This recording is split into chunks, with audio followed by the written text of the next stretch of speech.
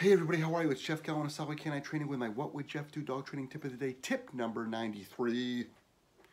Your road to happiness does not look like someone else's road to happiness. Your journey with your dog, your journey with your skill set, your journey with your results does not look and does not need to look like someone else's journey. You are on your own journey. Be careful about saying, hmm, well, their dog, I know. Different dog, different handler, different situation. You're looking for that improvement. We talked about this the other day. So just remember, your road to happiness, that looks differently.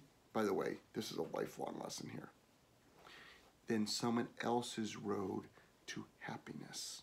It's so important because when it comes to our dogs, we're really, really judgmental of our dogs and we get into a rut and we don't feel we're making any progress because we're comparing ourselves to others. Or we're like, oh, geez, look at that person. They're doing like five different sports with their dogs. Maybe I should be doing that. You don't know. You don't know what their journey is. Okay? Stick to your journey. What would Jeff do? Dog training tip of the day, tip number 93. I'm down in Sarasota, Florida right now, buying a house in Bradenton tomorrow. And uh, check out Instagram stories for all that. All right, madly in love with you. I'll talk to you tomorrow. That's it. That's what I got. Just want to make sure I got everything in there. Lighting sucks. Sorry. I'm in a Airbnb. That's one room.